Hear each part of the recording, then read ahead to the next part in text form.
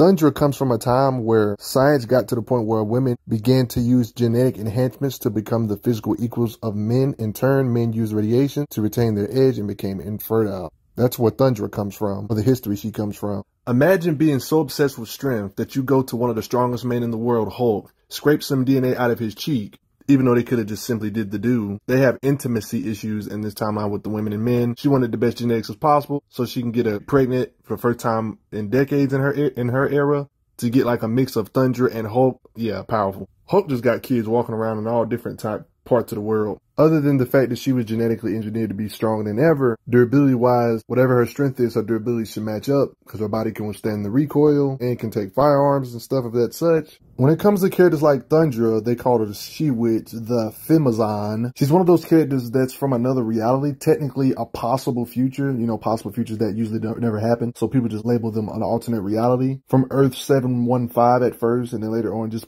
kind of becoming canon in the 616. I mean, I guess when you spend majority of your comic book career in 616, you kind of just become known as the 616 person, you know? They even talk about the time travel shenanigans here with Medusa, an inhuman character, talking about I don't really exist, or the dominant gender, a land ruled by Femazons among who she was the strongest and bravest and the most powerful. Kinda like Wonder Woman, if she was in Marvel, kind of, sort of, to some degree, maybe, sort of, some extremities here and there. She talks about how the different timelines work right here, how there's like an infinite number of different realities based on the different choices you made. She even talks about the alternate realities where the men rule and then another one where the woman rule. That's where Thundra just came in. She said she, they said she must go back into the past to find and battle the Earth's most powerful man. And that's where she came across beings like the Thing, who's a brute powerhouse among the heavy hitters. She's one of those characters that's a good fighter, military trained since the age of eight, multiple forms of armed and underarmed combat, they pretty much tell you all the stuff I just said right here about her, or Earth 715. Yeah, so pretty much all the information you need about her here, about her super strength and everything. And this is the moment where Thundra officially became canon, to where the natural forces want, this is their way of explaining it. The natural forces her wanted to stay on the planet where the sexes were equal by choice. But the thing is glad that Thundra is going to be sticking around. So yeah, so she's just kind of 616 officially at this point. Thundra started off as a feminazi kind of, but she kind of started having a crush on the thing. That's what I'm talking about. Oh, she really be wanting the thing, talking about he will be hers one day. Ain't that funny? She want the thing. Imagine being such a warrior with such strength when Red Hulk wants to recruit you. That's Thundra for you. But how strong is this mighty being known as Thundra? You can see her fighting skills with different projectiles or weapons, how she uses this chain to swing around the thing first to do an attack with her skills, like on some Kratos stuff.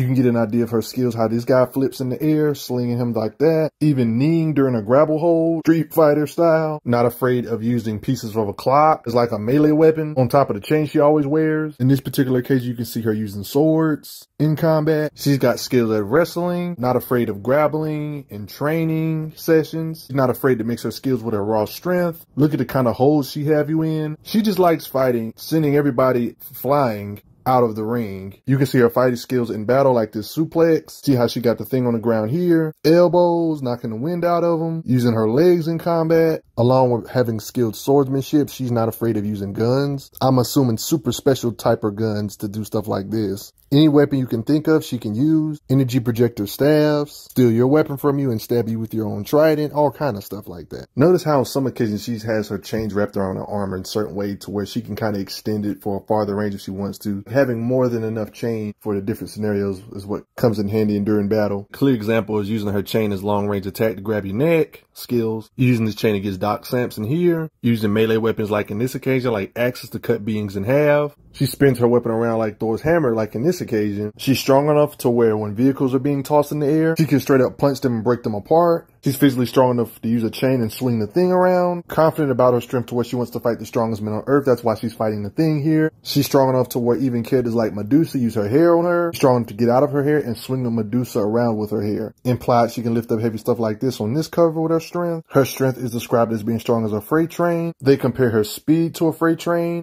Sandman, she's strong enough to throw you away. Thundra is strong enough to rip steel like this and pick it up with her brute strength. This is another clean example of her like matching blows with the strength of the thing, lifting up big stuff like this in combat, lifting up these weights with ease. It's just too many cases of her and the thing scuffling it out with strength. The thing I have videos about on my channel and is one of the most underrated characters of all time. She really obsessed with fighting the strongest men in the world if she feels like she got a physical crazy advantage, she won't even fight you if you're depowered because she wants to fight you at your best. Like in this occasion when the thing got temporarily depowered. She was like, nah, I can't beat you like this. You know she's strong when the Incredible Hulk asked, why are you so strong? And back when Marvel attempted to actually make tiers when it comes to heavyweights, they had Hulk and Thor, Hercules, Wonder Man in the super heavyweights while they had Thundra right there in the weights with Black Bolt and strength, Doc Samson, Namor, the thing, like that kind of makes sense on her strength class. For obvious reasons, I don't take these as Bible because why the heck is Silver Surfer in the super medium weights? Uh, yeah, that, yeah, it's just something to think about, even though I wouldn't take some of these as Bible. She's not afraid to pull up on the Hulk, strong enough to help the thing stop a train on the spot with her raw strength. Notice how she's around the same size of the thing when it comes to height and stuff. Since she's super strong, she can punch real hard to punch through platforms. Yeah, she's even gotten in scuffles with an underrated beast like Namor, taking blows from this guy. This also proves her strength, punching him, sending him flying because the battle isn't one-sided pretty much proving to Namor you should respect her strength. Notice how she's dubbed the strongest female of all. I love team up moments like Reed restraining this guy. Thundra comes and punches him out. Team up move with the thing. Her might can shatter Sandman like a sandcastle. Makes sense, right? It's just too much evidence of her strength and the things being similar. She can devastate tanks with her punches, then lift up a 60 plus ton tank and stuff, throw it. Yeah, don't ask. They be chilling with Impossible Man. Not only that, she can throw him very far, showing her strength. This thick door is locked. Thundra doesn't care and rips it open. Things trying to bind her, she simply breaks out. Her chilling with the Fantastic Four, she's faced off against her fair share of brutes. Might as well call her a Fantastic Four member at this point. Teamwork punching this brute down, along with others helping. She even went to a workout area and lifted up the whole workout machine with one arm. She punched Miss Marvel and sent her flying, even blasted by Vision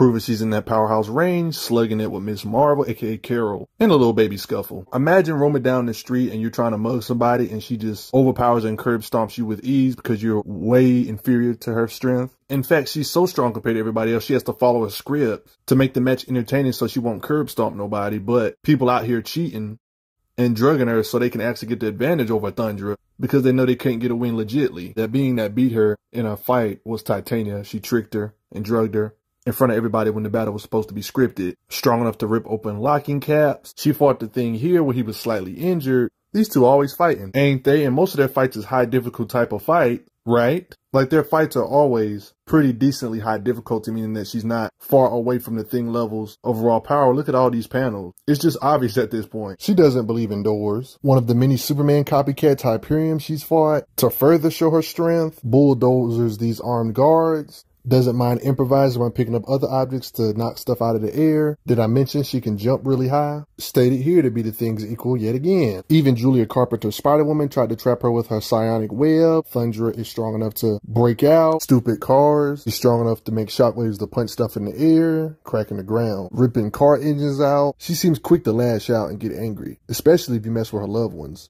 can also lift heavy pieces of stone. Punching through brick walls is another day in a life for her, or manhandling you and lifting you up with one arm. She-Hulk was recruiting a group of female powerhouse type characters. Like you can see her literally making a list. One of the beings happened to be the mighty Thundra to take on Red Hulk to show that, yeah, she's a worthy female powerhouse with She-Hulk and Valkyrie Tears. The artist for this book needs a reward though. She may have not taken on Red Hulk one-on-one -on -one here, but has different equipment or gear she can use on top of her strength and chains to do some damage to him working together on Red Hulk, they actually got him down for a couple seconds. She's one of the rare people that's willing to take people out or do whatever is necessary. For those that still have their doubts, she actually got a full-blown comic book with the Incredible Hulk himself, where the two box it up 1v1. Thundra is impressed by the might of this beast. She likes worthy opponents though, and Hulk is definitely a worthy foe when it comes to brute power. This is one of the rare times where Thundra actually admits she says she cannot beat the Hulk, but the Hulk does admit that she's strong like I showed you earlier. Pulls up on this Elephant Man being, Lady Liberators, locking arms with a being clearly bigger, meaning she's way stronger the way she looks, obviously. Her skin is durable enough to withstand getting shot. In this particular comic, chilling with the Hulk type characters like Red Hulk.